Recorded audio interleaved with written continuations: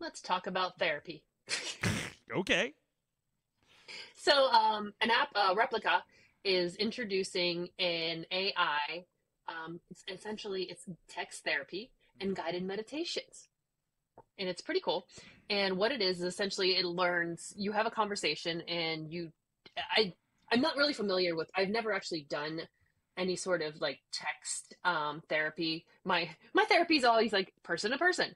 Uh, but like it follows those lines where essentially it gets to know you. It asks you like what's going on, like what are your fears, what are your concerns, and then it uh, kind of guides you to you know different meditations, you know suggestions to how like personal growth, like just things and practices that you can kind of int- introduce into your life to help you with what's bothering you at that moment. And it's really cool because there's also like the meditation. You feel like you're in submerged in this beautiful area and um, which will partner not too long in the near future with our very lovely Apple Vision Pro.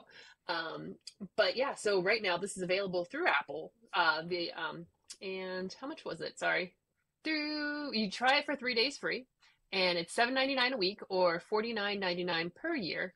Um, it's yeah, it's called Tomo. Sorry, I totally just glazed over what it was called because I was just I thought this was so cool. Like, I think it's just such a neat um, way to make therapy and these tools more accessible to folks. And I think mm-hmm. that's so important right now. Even like t- tools to help you cope with just like the world. It's just, I think it's helpful. And then the price range, like $50 a year is not bad. That's less than a therapy session.